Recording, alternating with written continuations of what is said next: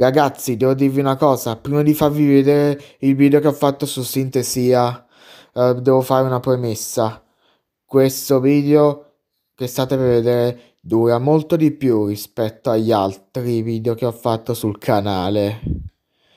Se avete letto il titolo del video, avete già intuito che questo video avrà a che fare con Microsoft Office.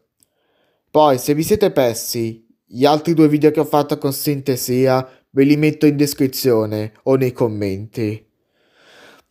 Adesso vi lascio al video che ho fatto con Sintesi, ok? Buona visione!